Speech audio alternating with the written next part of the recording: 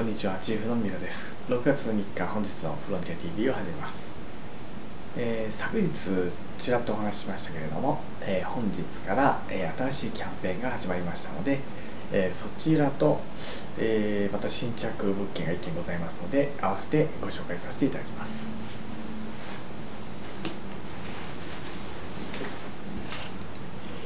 新着物件のご紹介からいきましょうか6月3日。はい、えー、富士吉田市上吉田。メルベイユ。こちらが1階 2DK2 階 2LDK の物件ですけれども1階の 2DK タイプ。こちらが今月末退去になりまして来月7月の中旬から入居可能になります。こちらは吉田中学校吉田小学校小さき花幼稚園。すべ、て徒歩3分以内にございますので、まあ、非常に通学に便利な場所ですね。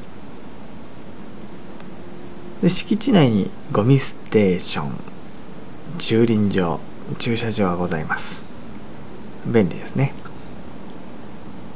はい、まあ、学校が非常に近いんでですね特に運転なんかされる際には、えー、注意していきましょう、南向きの物件、えー、ですね。前が畑なのでまあ隠れるものはないですね。やたり良好はい。で戻りまして戻りすぎました。えー、い。まあ、新しいキャンペーンということで、まあ、こちらからでも入れますが、え大東建託の物件の一部対象物件でですね家賃20%オフになるキャンペーンがございます。2014年7月1日までに契約開始となる物件が対象。今月契約ですね。で割引期間は、えー、今年12月末までの分ですね。まあ半年、20%オフになるような感じですね。えーまあ、注意事項を書いてございますが、えー、契約時の敷金、礼金仲介手数料は割引前の金額。契約開始から1年以内に解約される場合には違約金。こちらが、えー、家賃設定されている金額の半分が必要になります、はい。まあ、こちらでですね、えー、対象物件押すと、えー、今のところにしろ6件ございますね。はい。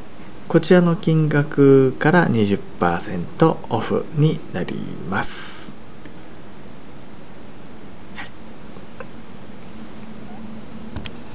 またですね、まあ、こちら先ほどツイッターから入りましたがトップページからいくと、まあ、借りたいですよね。借りたい。で大東建託特集がございますのでそちらからも見れます。こちらですね。はい。